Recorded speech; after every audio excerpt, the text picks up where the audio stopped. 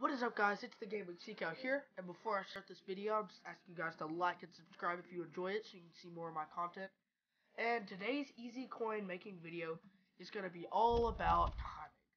I'm making this at about 5.30. So right now is a pretty good time to invest. So basically this is what you're going to do. I, like I don't have the budget right now because I'm I'm doing something for another video with a different team. But basically, just go under. Let's say you have your budget is 35k, and I would pick up an inform because informs fluctuate in price a lot easier. So let's just say this dude. We'll just add him to the transfers, whatever. If you pick him up for, let's see, he's gonna expire for 25. So if you pick him up for 20, 22,000, he could, you know, at a later tonight, could go up to 35 basically what you're doing with this is investing and picking a better time to sell when there's less on the market. So pretty much you're just gonna pick the time that most time zones it's at night or people are asleep. So for me it's midnight because people around here are asleep. There's not a lot of people buying stuff, so the prices are gonna go up. There's less supply, less demand. Pretty simple concept. The less there is of a player, the higher their price is gonna go up.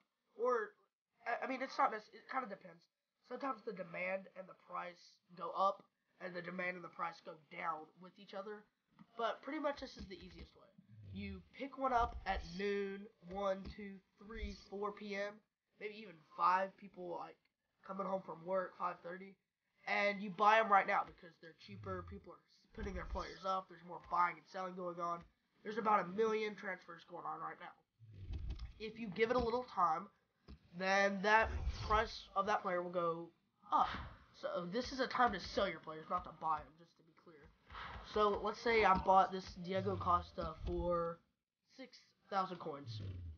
At midnight, he could be going 7, 6.8, 7, 7.5. I, I mean, it, it's not much, but if you're doing it with informs and stuff like that, then, you know, I mean, it's better than nothing.